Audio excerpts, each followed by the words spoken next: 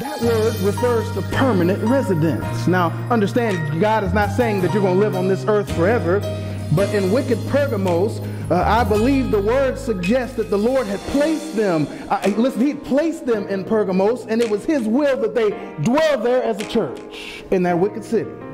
Pergamos was a dark place, but in other words, God said, You're dwelling here because I placed you in this wicked city to be a light in the darkness. That church.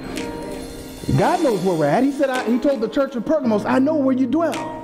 I know you're in Satan's seat. You're, you're in a wicked place, but I'm not telling you to move. I'm telling you to stay there. God knows.